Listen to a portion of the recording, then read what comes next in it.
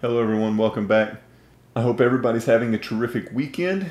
After last week's video where I looked at a custom scan uh, using Thinkorswim, it made sense to me today to kind of go into how you could take that trade you, you find, how you could look at that on the Toss Analyze tab and get a better understanding or a better idea of the probability that that trade is going to work out. And as options traders, we're always trying to get, eh, if we're, if we're going short an option, we always want to get as much premium as we can but with the highest probability as we can. If we're going long an option, we want to pay as little as we can, but get the best uh, best possible chance of success. So understanding probability and using probability is something we're doing on uh, a daily basis. So I thought it made sense to take a look at standard deviation on the Toss Analyze tab. I think it gives a much better picture of what the probability of an options trade working out is than just using the standard, what we normally do, set the slices to break even, see the probability of profit or probability of success, and then move on.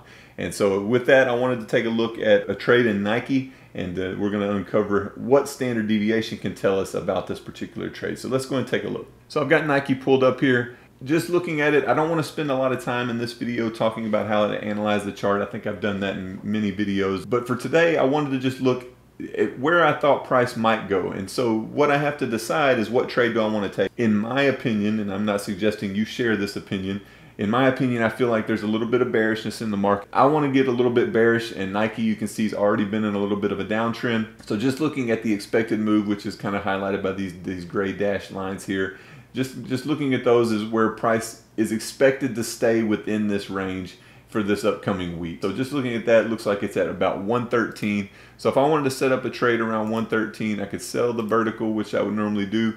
I would feel okay about 35 cents. I'd want to go and analyze that trade and get a get an idea of what my probability. So normally what we do, we come over there, we set the slices to break even. But when we look at this, we see a 63% chance, but really the only the only space we have between where we are now and where we start losing money or where we will lose money at expiration is about that far. I mean, just not a lot. Have you know this gray shaded region is one standard deviation. Price is generally going to trade within that range. In this instance, over the course of the next month, this is the standard deviation move. So we've got this whole area here. Meanwhile, we've got this one small section that mathematically is a 63% chance. Logically, we can look at that and I think we would all agree that's not a 63% chance. Just looking at this with human eyes, we can say that that's about a 20 to a 30% chance that this trade is going to work out. And we just have to basically get directionally right, which is normally the case.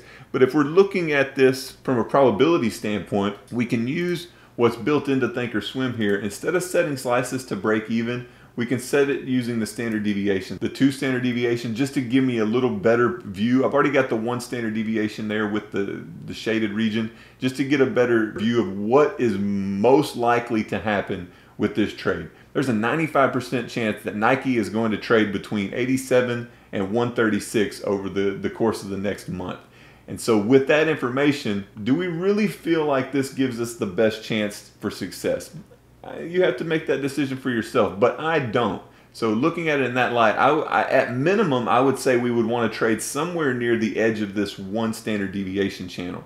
If at all possible, we'd love to be over here near this two standard deviation line, but there may not be any premium available there. So let's just see how far we can go and still find some acceptable premium.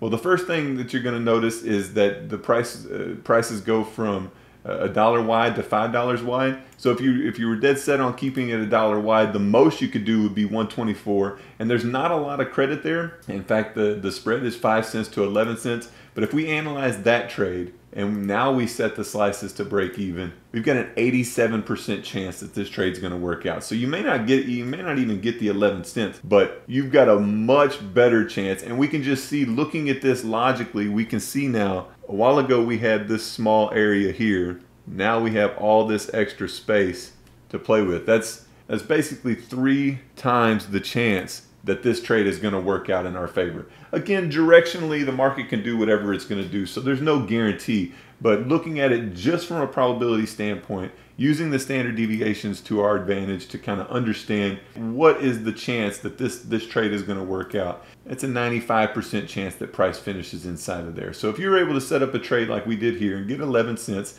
To me, I feel much more comfortable taking this trade. Even though I'm not collecting quite the credit, I feel a lot more comfortable taking this trade. And then you can always manage it at a certain point. But just in terms of probability, using the standard deviation on the toss analyze tab can give you a much better picture or a much better view of what's possible with your trades. Instead of just setting the slices to break even and looking at it that way, get a wider view of what's possible with your trade. As you know, we had that small section and now we have this whole large section here to play with. Just makes sense that it's going to work out uh, more often than not. But guys, thank you so much for watching. Hopefully this all made sense. If you have any questions, feel free to reach me in the comments. If you think this is idiotic and you don't think this will ever work, you can let me know that in the comments as well. But guys, thank you so much. Until the next video, God bless and take care.